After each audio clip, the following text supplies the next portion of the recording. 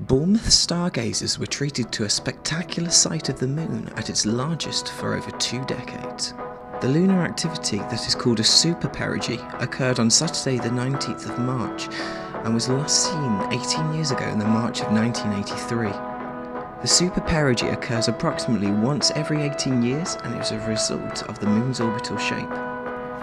This elliptical shape of the moon's path means that there are two opposite polar points, one where the moon is furthest away from the Earth, called an apogee, and the second where it is nearest.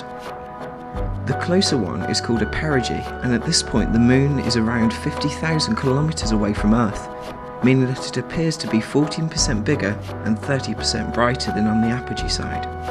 This footage, displaying the rare natural coincidence, was taken from the pier of Boscombe Beach in Bournemouth and shows the moon rise in the east over the Isle of Wight. I'm Joshua Saunders, reporting for Buzz News.